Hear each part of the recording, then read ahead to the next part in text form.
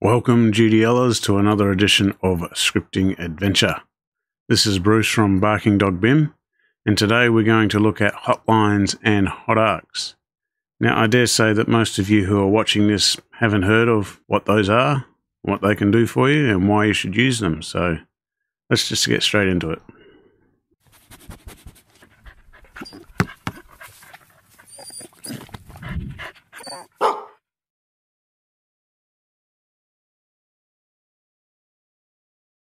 Now with slabs or any other native ArchiCAD element that is not an object, you get feedback from the intelligent cursor. So if I was to draw just a quick slab in here, let's round one of these corners at 80 and chamfer the other at 80 just to mimic our desktop.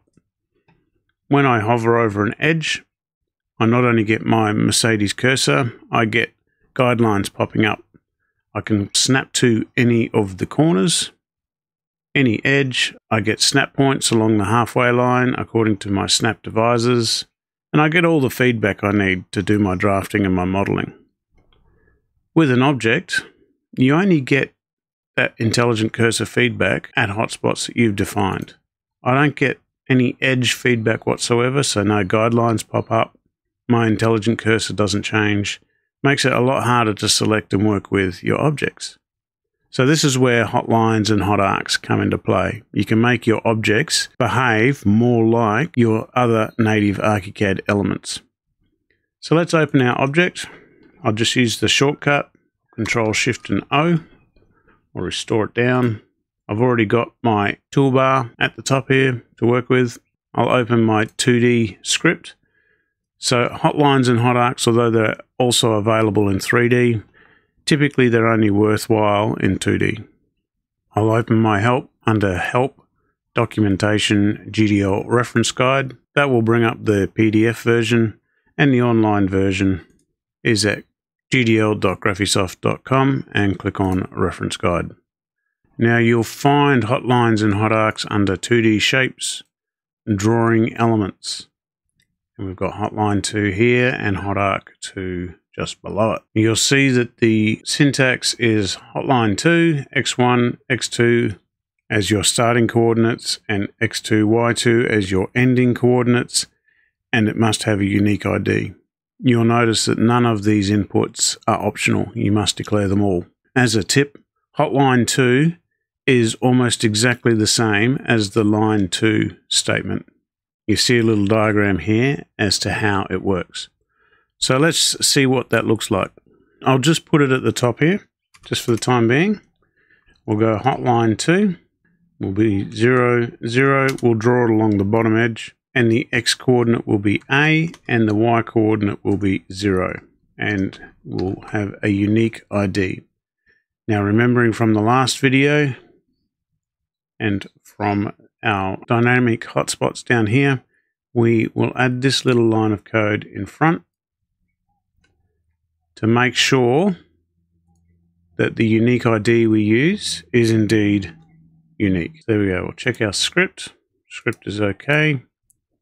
Save our object and check it in the plan environment. And we can see straight away we've got some intelligent cursor feedback. My guidelines popping up and that appears on all of the objects because I've declared it right at the top before any of the subroutines. But I don't have it, just turn off those guides. I don't have it on any of the other edges, just that bottom edge. So you can see as I hover over that bottom edge, I get my intelligent cursor feedback. I get a halfway tick, and you can see the endpoints too have been highlighted on screen. So it's a very useful thing to have and I can select my object. So now we want to add these to the other four sides. I could do some sort of complicated loop, but in some instances it's just easier just to do the four different declarations and now I'll have the same coordinates as my hotspots. I'll declare these in the same order that we've declared our desktop outline. So we'll start at 00, 0 go to 0B, then from 0B, we'll go to A, B, and then from, which is the top right corner, and then from A, B, we will go to the bottom corner, which is A0, and then from the bottom corner, which is A0, we'll come back to 0, 0. Save that. And now I've got a hotline. I'll just turn on my snap guides. And you can see I get a snap halfway tick on every side now. I get an intelligent cursor on every side. I get snap guides, snap lines popping up. It makes my object behave more like the other native ArchiCAD elements. So that's good. That's exactly what we're after for the rectangular desktop. For the other two, we can see that our snap guides, our snap lines, continue past our corner condition. So we can see here that they continue past. I don't get any intelligent cursor feedback on these edges here. So we need to be a little bit more sophisticated with how we apply these hot lines and hot arcs. So going back to our 2D script, what we'll do is in order to keep our script nice and clean and tidy, we'll put all the hotline and hotspot stuff down in the hotspot go subroutine. You'll also remember from the previous one that our go subroutine is only executed if we have these types of desktops.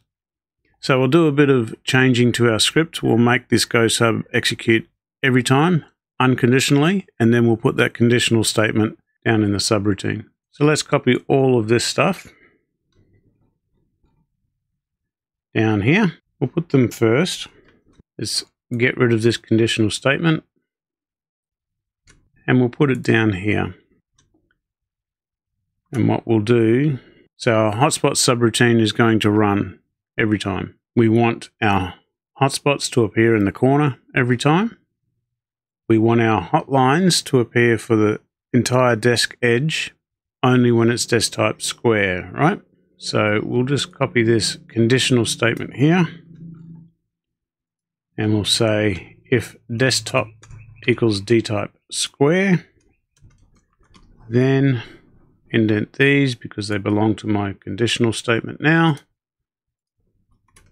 And if. Then we want another series for the other two conditions. So for the desktop rounded corner and for the desktop chamfered corner, we want to draw the lines shorter so that they account for the corners, but they'll be the same lines for both of those types. So we'll put in this conditional statement if it's one of these two,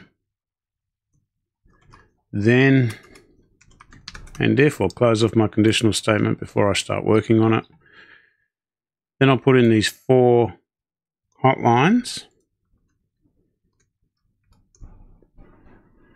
Instead of being from 0, 0, the first one will start at the y coordinate of corner R and it will finish at B minus corner R.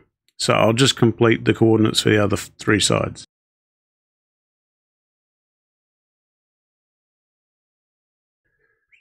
Right, so let's save this, have a look, see if I got it right. I've got my intelligent cursor and you see that the line is only as long as the side. And I'll just check the other four sides, three sides rather. There we go. They're all there. They are all the correct size. and my square desktop is still executing properly. So it's good. That's what we're after. Now I need to figure out what I'm going to do with the chamfers and the rounded edges. Let's do the chamfers first. So within this conditional statement, we'll go if desktop type equals dtype chamfered. Then I'll do my corners close off my conditional statement first. I will copy down a unique ID. Now hotline. So this will be the first corner. So it'll be corner R in the X and it'll be zero in the Y. And then the finish will be zero in the X and corner R in the Y. And there's my unique ID. So let's just see if I got that right. Save it. And there we go. It's working how I expected. So I'll just finish out the other four. I could do a complicated for loop, but in this case, I think it'll just be easier to hard code in the coordinates of the other three sides.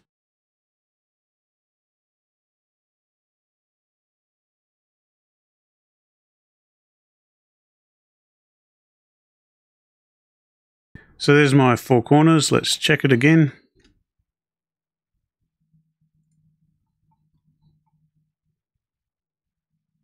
And we can see by the guideline that I've coded this correctly. Now we get on to the curved corners, and this is where the hot arc comes into play. So if we look at that, we see that the hot arc has an X and a Y, an R, a start angle, end angle, and unique ID. And it's got some wordy words down there to describe what it means, but a clue is that the hot arc 2 has the same inputs as the arc 2. So we'll have a look at the arc 2. And we see here that the little diagram helps us understand what's required. X and Y is the center point of our arc. R is the radius. The first angle, the alpha or the start angle, is the angle from the x0 axis to the start of your radius, to the start of your arc. And the beta is the end angle measured from the x-axis 0. So with that in mind, let's script our first curved corner. So we'll create another conditional statement down here for if desktop type equals rounded. Copy down our unique ID because we still need that. And the statement is hot arc 2. Got our center point which will be corner R, corner R. Our radius will also be corner R. Our start angle, remembering that the X zero axis is zero, so it'll be 90, 180 start, and it'll finish at 270 and we need our unique ID. Let's save it, see if I got it right. And there we go. And there's my construction line, my guideline pinged in place. And I've got a center point that I can use. I've got endpoints that I can use. So it's very handy to have. So I'll just do the other three corners.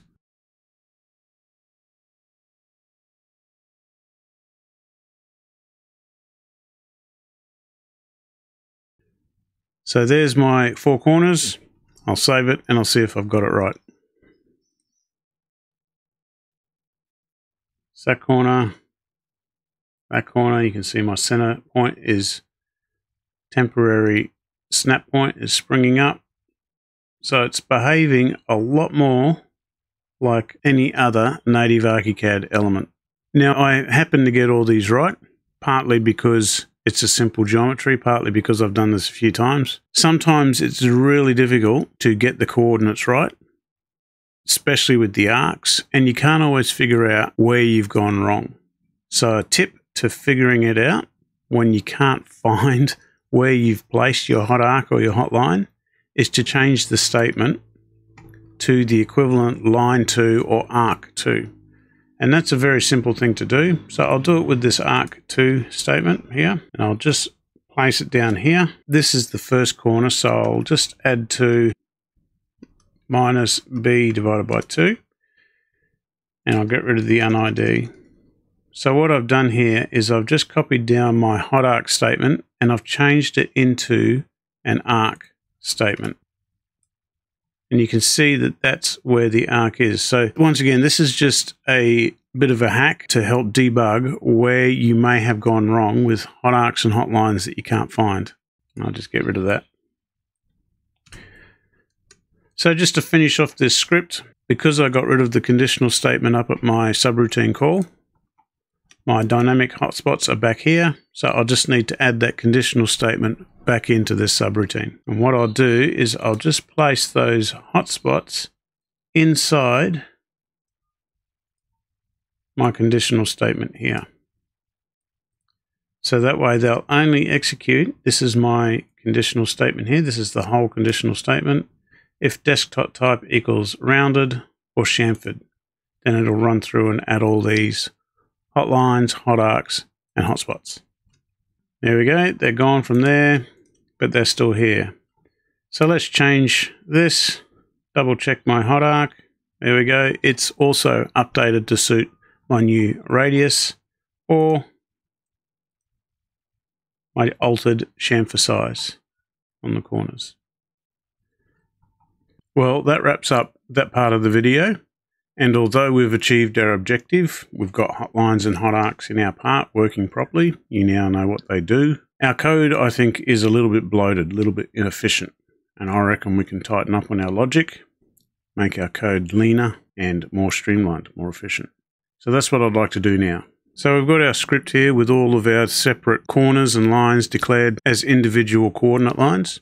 Let's see if we can get them into the for loop so we only have to declare them once. So to do that, I'll start with my chamfered and I'll put it down, copy it down into our for loop here with an end if,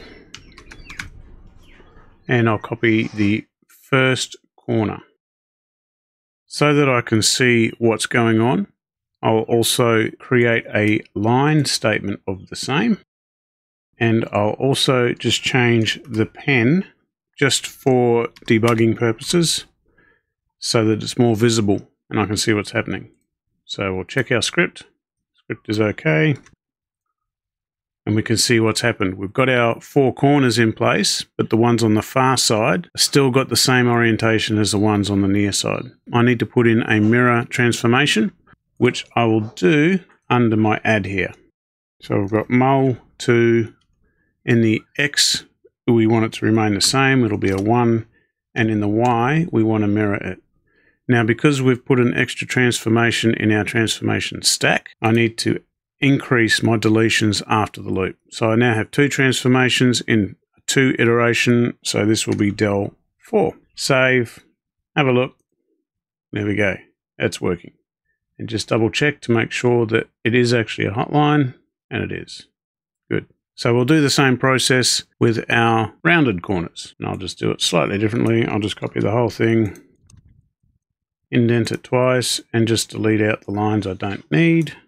And again, copy down an arc statement. Right. Let's check our script. Oh, first of all, I might have been getting false positives. I just need to comment out where we've already done them up here. So they're no longer relevant. And there's my four curved corners, and there's my four chamfered corners, and they are hot. Hot lines, hot arcs. Excellent. So let's see how we can get our sides into this loop as well. I'll show you just a couple of variations on the same method, just to demonstrate that there's always multiple ways that you can solve the same problem. One way is not necessarily better than the other. There's always different ways to go about it. So one way is we know that we're going to the four corners. We're going one, two, three, four. If I do opposing L shape with my sides, that will allow me to declare just the same line of code for each side. So I'll put it under the hotspots and I'll use the bottom in the X direction first, which is the last one, right? Paste that down to there and that will happen every four iterations. So we don't want it being placed four times. So we will say if j equals 1, then execute this. And again, I'll put in my line so that we can visually see what's going on. Let's check our script. Not enough parameters. 98. Oops, I missed one. Zero. Let's check our script. It's okay. And I should get a line at the bottom and the top. There we go, bottom and top. And they should be hotlines to make sure that I'm not getting a false positive. I'll just comment out where I've used them before. Hotline, hotline, hotline, hotline, good. And we will say if i equals 1, then so i is 1 when it's at the bottom at either corner. And this one will be our vertical hotline, which will be starting at x at the 0. So it's this top one here. Again, let's copy a line across. Check our script. It's okay. So there we go. We've got our four lines for each corner. And I think that's a pretty good solution. Now to demonstrate that we're only doing the line once, I'll just put a little tweak in the line just so that you can see how the lines are placed. So what that shows me is that I'm not placing them once in J1 and then mirroring them and placing them again in J2. So they're just being placed the once. That's one way I could go about it. The other way is if J equals 1 and I equals 1, then we'll do our horizontal line and we'll do our vertical line and we'll delete that. So that will place a corner L. So let's check our script. So that's placed that one in the corner. And now we want the condition when it's at the top right. So that will be or j equals 2 and i equals 2. So I'll just put these in brackets so that I can read it. It's not required logically, but it does make it more legible. So there we go. That's another way that you can execute your logic to get the same result. And I can now delete these lines. So it's even tighter code now. Wonder if there's a way that we can get the edges for the square desk in there as well. Now the problem we have is that the square desk edges are a different length to the others. Let's make these desks the same size. Let's make them one meter by 650 all the same size so we can see. So you see that this edge here is going to be longer than that edge. How do we deal with that in our script? So what we'll do in order to achieve that is we create a temporary variable just for this subroutine. And because it's just for this subroutine, we'll lead it with an underscore. So we'll go hot x1, which is our hotline x coordinate 1 equals 0. We'll go hot x2, which is our finishing coordinate in the x-axis, and that will be A. We'll go hot y1 equals 0, and we'll go hot y2 equals b. Now, this highlights the fact that when I created these temporary variables, they should have an underscore. A Graphisoft style guide recommendation. So now all desk types need to go through our loop. So our conditional statement is not before the loop, it's now inside the loop. And what it's going to limit is the execution of our hotspots. So I'll put it in there. And if, and I need to get rid of the last end if down here. Now when it drops into this conditional statement, so if the desktop is D-type rounded or D-type chamfered, then I need to update all of my coordinates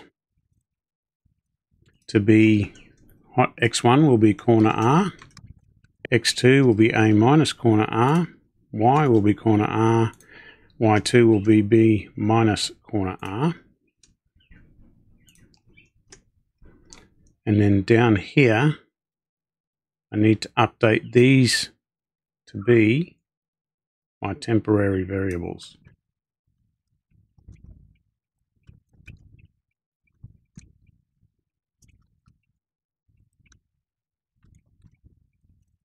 Let's check our script. It's okay.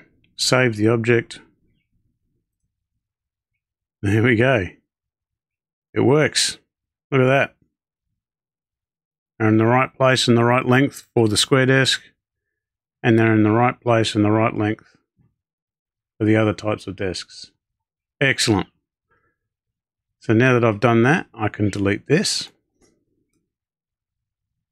I get rid of my pen get rid of these lines. I'll put these back into their own if statements.